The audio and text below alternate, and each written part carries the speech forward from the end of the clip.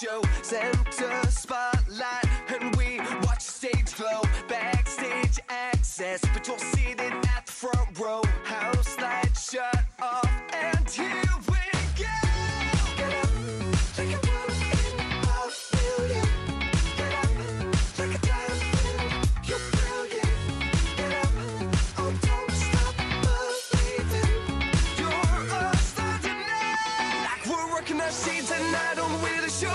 Cruising in the back of a Cadillac limo. Hit the red carpet plus the velvet ropes. Like we got no access pass to the show tonight. Paparazzi show me my suit and tie. Campus got me feeling like I'm so alive. We're meant to be. We're meant to be. We're meant to be. Good morning, Liberty North, and welcome back to KNET. Today is March 16, 2015. Today we will have all of your announcements. So, Sam, what will you have on weather? Today we have a week high of 82 degrees with sunny skies. I'll have more on that later on in the show. And I'll have all the sports you need to know later on. Well, let's get this show started. Your Net News starts Now.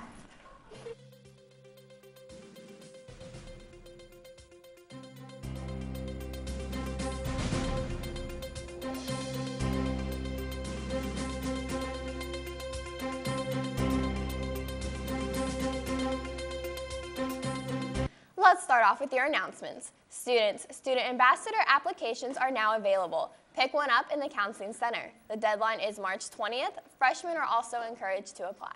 Seniors, if you know your future college plans, please come down to the Counseling Center and write them on an eagle to add to our Soar Eagles wall. The second annual dodgeball tournament will be held on Thursday, March 26th at 7 p.m. and Friday, March 27th during Eagle Hour. Pick up an informational packet during lunch this week for more information. Scholar Bowl took third place in their tournament this Saturday. Tim Haynes tied for the title of top scorer, earning 76 points per game. Elliot Yoakum tied for third ranked scorer, earning 53 points per game. Congratulations, guys.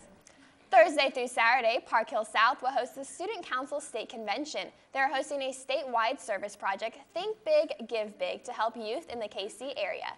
We will be collecting new and gently used jeans. If you would like to donate, please bring jeans to room 812 by this Thursday. Newspaper is doing a free March Madness bracket contest with lots of prizes to win, such as Buffalo Wild Wings, Chipotle, and more. Brackets need to be filled out and returned to newspaper room or a newspaper student by Thursday. That is all the announcements we have for you today. Sean, what do you have on sports? Thanks, Lexi. Well, over the weekend, the Liberty North baseball team hosted their second annual jamboree, hosting Staley, Oak Park, and Ray-Pec. The team got in some good work, all in preparation for the season opener this Saturday at 6:15 against Ray-Pec at home. In other news, former Eagle All-American Andrew Vogelball hit a walk-off grand slam last night for Pitt State, giving his college team a huge 8-5 win. Congrats, Andrew. That's all I got on sports today. Sam, what's good with the weather? Thanks, Sean. As I said before, today the high is 82 degrees. It is going to cool off for the rest of the week. Tomorrow, for St. Patrick's Day, it is going to drop down to 58 degrees with a low of 37 degrees and mostly sunny skies. That's all I have for you today. Guys, back to you. Thanks, Sam. That is all we have for today's edition of KNET. We will be back here Wednesday with World News Wednesday. And don't forget tomorrow's St. Patrick's Day, so wear your green to avoid being pinched. But until then, we'll Catch you on the north side. Ladies and gents, welcome to the rock show. Center spotlight, and we watch the stage flow. Backstage access, but you're seated at the front row. House lights shut